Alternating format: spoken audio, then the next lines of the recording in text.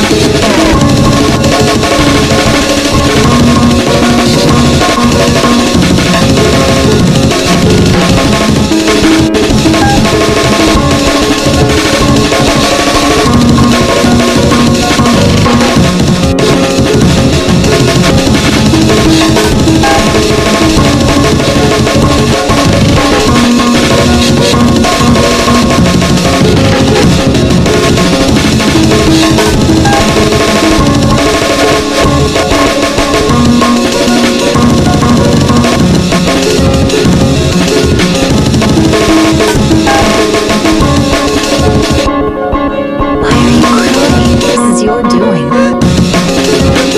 You said you'd rather feel pain yourself than inflict it on others. You saw what happened with your mother.